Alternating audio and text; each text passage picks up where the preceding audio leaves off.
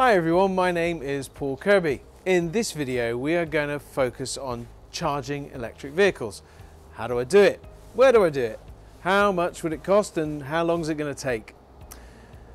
In my day-to-day -day role as head of electric vehicles for Vanarama, I hear the concerns that people have over charging electric vehicles.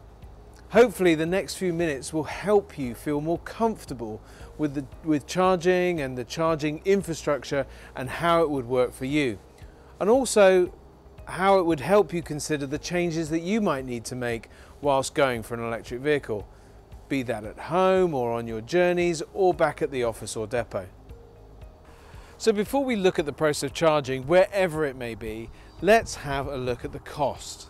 The reality is currently that the cost of charging, depending on both where and when you do it, can vary wildly.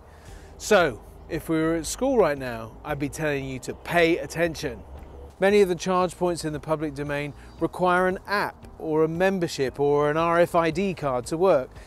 There is a big move towards contactless payment, but even so, having a membership or an app will often reduce the cost. As you have heard, the average cost of a kilowatt of energy at home or at work is around 14 or 15p a kilowatt. Out here in the public domain, the cost can vary from free, yeah, actually free, all the way up to over 60p per kilowatt. Typically though, the market seems to be averaging out at around 25p a kilowatt. This means it could be easily as much as double the cost of charging at home or in the workplace. But even with the varying costs, it is still considerably cheaper than diesel.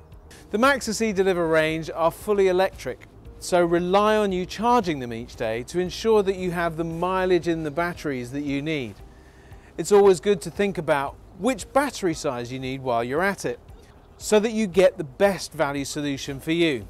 If your operation is urban, you may not need the biggest battery, so it will save you money while still doing the job you need it to. A smaller battery is also quicker to charge. It's all about being fit for purpose. Now, charging can take place at your home, on your drive, or at your depot and workplace, or in one of the many public charge points that are available in hubs like this. Charging can also take place while you're driving through the process of regen, short for regeneration, which is the process where the vehicle, when you take your foot off the accelerator, uses the motors to generate power back into the battery. There are three main types of charging slow, fast and rapid. And there's also another one creeping in called ultra rapid. But these relate to how quickly you can charge the vehicle. Slow is your domestic three pin plug and this charges at around 2.2 kilowatts an hour. And what that means is it will take about 24 hours to charge a 51 kilowatt hour battery. It's more of a get you out of trouble rather than a sensible option for a van.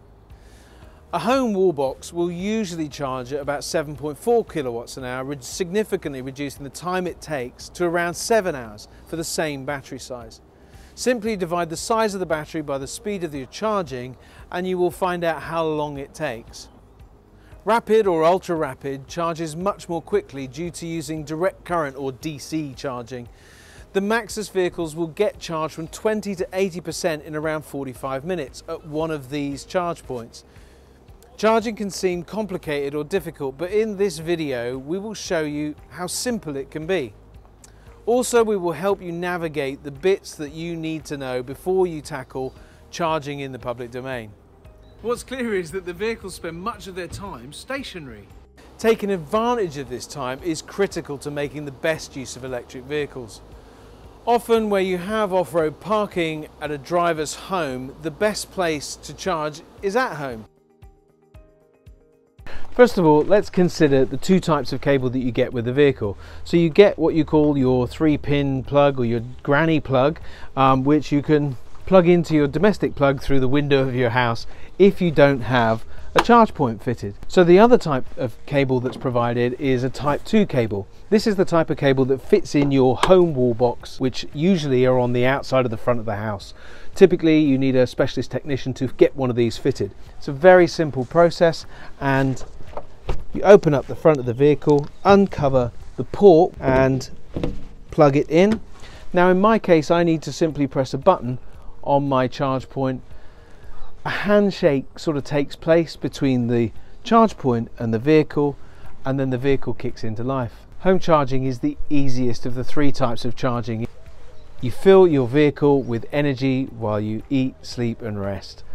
And the best thing about all of this is that in the morning you unplug, shut the front of the vehicle and away you go with your full 150 mile range which is more than adequate for most people's daily mileage needs. It doesn't get any easier than that. So the other alternative is to be charging at the workplace, the place where your vans park in the daytime, overnight, and if you have the right charging infrastructure, you can get fast charging or rapid charging, which will give you a boost to get the vehicles back out on the road through the day, or go with a 7 kilowatt or a 22 kilowatt charger, which will allow the vehicles to charge adequately overnight, enabling your drivers to start every day with a full charge. The good news is that there are grants available to help you get charge points fitted and they are worth around £350 today as we speak but time will change that no doubt so best to strike while the iron's hot. But if we do finally get low enough to need a boost on the hoof then let's consider what the infrastructure for public charging looks like in the UK. According to ZapMap, there are nearly 14,000 locations with 22,000 devices available for you and me to charge our electric vehicles. And the app will tell you whether the device is in use, whether it's working or not, and, and also how much it will cost you to charge. It's a fantastic app and it keeps things nice and simple. The government have also recognised that charging infrastructure is a barrier and a concern to us. So that's why they're investing over 1.3 billion pounds to ensure that the right infrastructure is there for us when we need it. So how does it work? Well, we had a look on a day not so nice as this one. So once you're at the front of the vehicle where the charge point is and buy the charger of your choice, we select whether we're a guest or a member, but it'll give you an opportunity to start. And that is my start point. I add my tag. I now select whichever charging point I want. For the Maxus, we want to select the 50 kilowatt DC CCS and you can see the shape of it will match the socket which we'll see in a second. Now it tells me to connect my vehicle so I'm going to go and plug in. So then present the charging socket into the vehicle. The charger will then go through a series of checks. We'll see the vehicle starting to charge. So you'll know the vehicle is charging because of the green flashing light. So most charging points that you arrive at will have a screen not dissimilar to this one. The Maxus eDeliver 9 and the eDeliver 3 will both deliver from 20 to 80% in around 45 minutes. Over 80% the batteries don't charge as fast as they have to slow the intake of energy for various sciencey and technical reasons.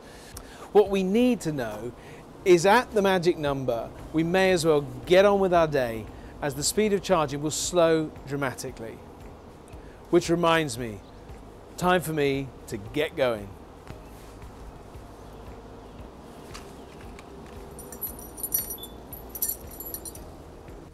By 2030, every vehicle sold will have a plug on it and charging will be completely normal. So if you were concerned about charging, hopefully now you have the confidence to get started on your electric journey. See you soon.